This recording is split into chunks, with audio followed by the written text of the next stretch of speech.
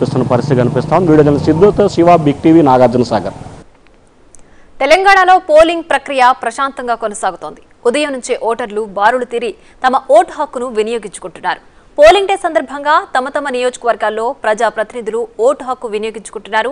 ఈ నేపథ్యంలోనే TPCC chief Revanth Reddy కొడంగల్లో ఓటు వేశారు. జడ్పీహెచ్ఎస్ పోలింగ్ బూత్లో కుటుంబ సభ్యులతో కలిసి ఓటు హక్కును వినియోగించుకున్నారు. నాగార్జున సాగర్ డ్యాం ఉద్రిక్తత అంశంపై స్పందించిన ఆయన ఇదంతా కేసీఆర్ కుట్రేనని ఆరోపించారు. తమ ప్రభుత్వం అధికారంలోకి రాగానే సమస్యను సామరస్యంగా పరిష్కరించుకుంటామని తెలిపారు.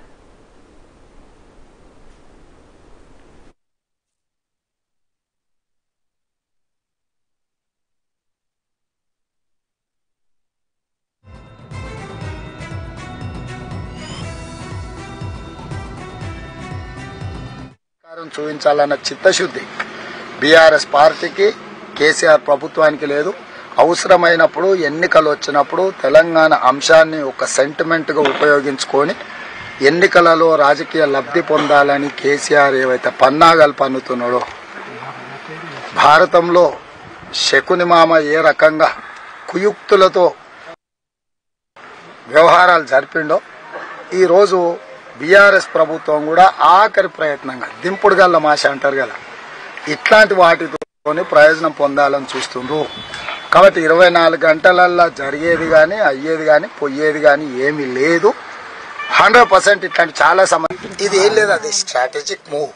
ఎందుకంటే పది సంవత్సరాలు ఆల్మోస్ట్ తొమ్మిదిన్నర సంవత్సరాలు అయింది. నాగార్జున సాగర్ ఎక్కడికి పోదు ఆ గేట్లు ఎక్కడికి పోదు ఈరోజు రోజు తెల్లవారుజామున పోలింగ్ స్టార్ట్ అయ్యే ముందు ఇలాంటి అంశాలకు తెరలేపుతున్నారు అంటే తెలంగాణ ప్రజలు సమయస్ఫూర్తి ఉన్న వాళ్ళు సమస్యను అర్థం చేసుకోగలిగారు ఇప్పుడు ఎవరు ఎందుకు ఏం ఆశించే ఇట్లాంటి ప్రయత్నాలు చేస్తారు అనేది కళ్ళకు కట్టినట్టుగా కనిపిస్తుంది. కాబట్టి ప్రజలు ఆందోళన చెందాల్సిన అవసరం లేదు. గేట్లు అక్కడే ఉంటాయి నాగార్జున సాగర్ అక్కడే ఉంటుంది నీళ్ళు కూడా అక్కడే ఉంటుంది ఇక్కడ కొత్త ప్రభుత్వం వస్తుంది. ఈ కొత్త ప్రభుత్వం ఏర్పడే వరకు స్టేట్ ఎలక్టోరల్ ఆఫీసర్ బాధ్యత తీసుకొని చర్చించాలి. ఉద్రిక్తత పరిస్థితులు రాకుండా చూడాలి. అదేవిధంగా తొమ్మిదిన్నర సంవత్సరాల నుంచి చంద్రశేఖరరావు పరిష్కరించకపోవడం వల్ల ఇట్లాంటి సమస్యలు ఉత్పన్నమవుతున్నాయి. కాబట్టి సమస్యలకు అన్నిటికీ శాశ్వత పరిష్కారం రావాలంటే ప్రజలు ఆమోదయోగ్యమైన ప్రభుత్వం రావాలి. రాబోయే కాంగ్రెస్ ప్రభుత్వంలో ఏ రాష్ట్రంతో సమస్య ఉన్నా అది ఆంధ్రప్రదేశ్ కావచ్చు కర్ణాటక కావచ్చు ముఖ్యంగా నీళ్ళకి సంబంధించి. ఇటువైపు మహారాష్ట్ర కావచ్చు గోదావరి. సో ఈ సమస్యల్ని సామరస్యపూర్వకంగా అందరికీ ఉపయోగపడే విధంగా పరిష్కరించుకొని ఎందుకంటే పాకిస్తాన్ భారతదేశం కూడా నీటిని పంచుకుంటున్నారు. రెండు దేశాలే ప్రాజెక్టులలో నీటిని మాట్లాడుకొని పంచుకుంటున్నప్పుడు రెండు రాష్ట్రాలు మూడు రాష్ట్రాలు పంచుకోవడానికి ఇబ్బంది లేదు. తప్పకుండా కాంగ్రెస్ పార్టీ సమయస్ఫూర్తితో సమన్వయంతో కృష్ణా నది జలాల విషయం కావచ్చు గోదావరి నది జలాల విషయంలో కావచ్చు. అదేవిధంగా ఆస్తుల పంపకాల విషయంలో కావచ్చు లేకపోతే వివాదంలో ఉన్న ఇతర అంశాలు కావచ్చు.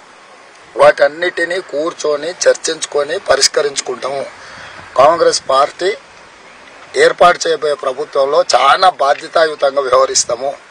నేను తెలంగాణ నాలుగు కోట్ల ప్రజలకు విజ్ఞప్తి చేస్తున్నా. ఇట్లాంటి కుట్రలల్లో మీరు ఎవ్వరూ పడకండి. ఇట్లాంటి కుట్రలు మన ఎన్నికలలో ఓట్లేసే విధానం మీద ప్రభావితం చూపించాల్సిన అవసరం లేదు. నాగార్జున సాగర్ అక్కడే ఉంటుంది గేట్లు అక్కడే ఉంటున్నాయి. మనందరం ఇక్కడనే ఉంటాం రెండు ప్రభుత్వాలు ఉన్నాయి. ప్రజలు ఎన్నుకున్న ప్రభుత్వాలు కూర్చొని మాట్లాడుకొని ఈ సమస్యకు సరైన పరిష్కారం చూపించే బాధ్యత ఇది